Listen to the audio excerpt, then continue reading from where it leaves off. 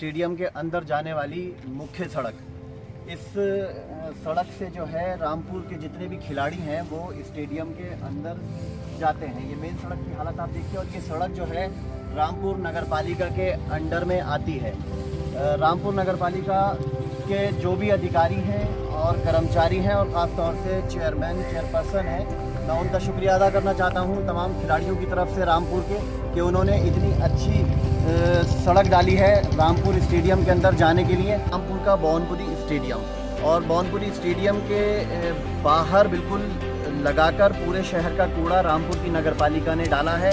और न सिर्फ़ कूड़ा डाला है, बल्कि उसके अंदर आग भी लगाई है, जिसकी वजह से एक अच्छा पॉल्यूशन फ्री एयर रामपुर के खिलाड़ियों को मिले। स्टेडियम में आने वाले तो मैं रामपुर नगर पालिका का ख़ास तौर से चेयरपर्सन का बहुत बहुत शुक्रगुजार हूँ कि उन्होंने खिलाड़ियों को इतना अच्छा वातावरण स्टेडियम के चारों ओर बना कर दिया है कि मुख्य मार्ग अभी आपने देखा, स्टेडियम के अंदर जाने वाला बहुत अच्छा पेरिस की तरह सड़कें हैं उसकी कि आप आराम से जाइए बिना किसी गड्ढे के, बिना किसी बरसात के पानी के स्टेडियम के अंदर जा सकते हैं और आप देख रहे हैं तमाम कूड़ा मेरे पीछे पड़ा हुआ है और इसमें आग निकल निकल रही है, धुआँ निकल रहा है जिससे कि एक बहुत अच्छा पॉल्यूशन फ्री एयर खिलाड़ियों को मिल रही है। बेहतरीन, बहुत शानदार, जबकि बरसात का मौसम नहीं है। बिना बरसात के यहाँ पे पानी की व्यवस्था है।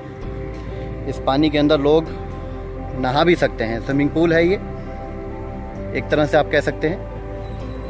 और ये रामपुर नगर पालिका ने जो सड़क डाली है स्टेडियम के अंदर जाने के लिए, मेन सड़क, एक शानदार सड़क खिलाड़ियों के लिए रामपुर की नगर पालिका की तरफ़ से। बहुत बहुत शुक्रिया। रामपुर की नगर पालिका